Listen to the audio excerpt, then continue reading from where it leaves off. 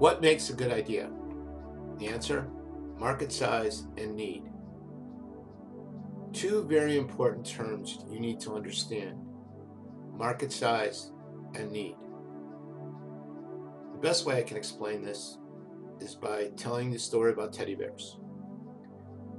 When I was making teddy bears in Vermont and selling them from my cart, my market size was the number of people who walked past my cart each day in Burlington, divided by the number of businesses that people could buy anything from.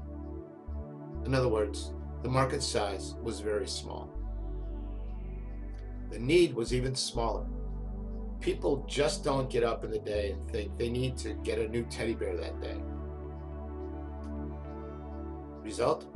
My sales from the cart was very small. I tried to increase my market size by selling my bears in gift stores, first in Vermont and then throughout New England.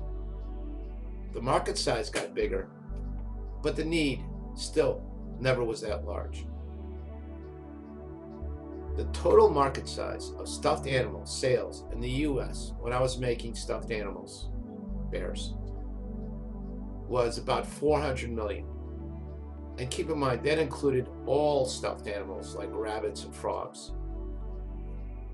My idea to sell teddy bears was not a good idea because the market size is really small. I falsely thought I could increase the market size because my bears were so much better than everybody else's. My company took off when I changed the market I was going after from people who wanted to buy a teddy bear to people who needed to buy gifts. The need for gifts is huge.